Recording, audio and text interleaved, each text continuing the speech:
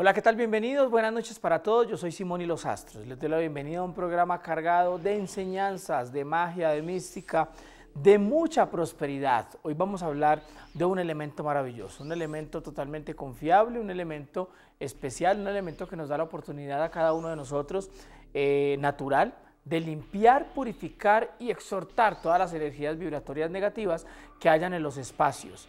Eh, se ha utilizado a través de los años, no solamente para erradicar los bichos que van viniendo a nuestros espacios, los mosquitos, sino también las energías de los espacios. Esa es quizás su labor más importante, su labor más excepcional, su labor más natural dentro de todo lo que tiene que ver con los aspectos energéticos y de armonización. El eucalipto, las maravillas, las bendiciones y todo lo que tiene que ver con el eucalipto, trae para nosotros una posibilidad fuertísima de limpiar, de purificar y de sanar situaciones y memorias dolorosas del pasado que se dan y van llegando a los espacios y van limitando cosas, van permitiendo, eh, impidiendo, perdón, la fluidez económica, la fluidez laboral, la fluidez sentimental y nos van obstaculizando de una u otra manera los procesos de sanación y de purificación en los espacios. Hoy vamos a trabajar con esa maravilla de elemento sagrado y natural como es el eucalipto. Vamos a hablar de él, vamos a recomendar algunos rituales, vamos a recomendar una proyección especial para que cada uno de ustedes, de acuerdo a su necesidad, tenga claro lo que va a hacer con él, lo que va a vivir con él, lo que va a experimentar con él y lo que va a traer de él. Entonces, hoy vamos a hablar de eso, del eucalipto. Estamos hablando de una conexión especial que tiene el eucalipto con los seres humanos. El eucalipto tiene la armonía, no solamente en su olor, sino en su textura y en su forma de proteger y cuidar los espacios. Es algo así como el San Miguel Arcángel de las plantas, porque está fue creado a través de nuestro ser superior para limpiar y purificar los espacios de consecución, de logros, de equilibrios y de fortalecimiento a nivel emocional, a nivel personal, a nivel económico y a nivel laboral.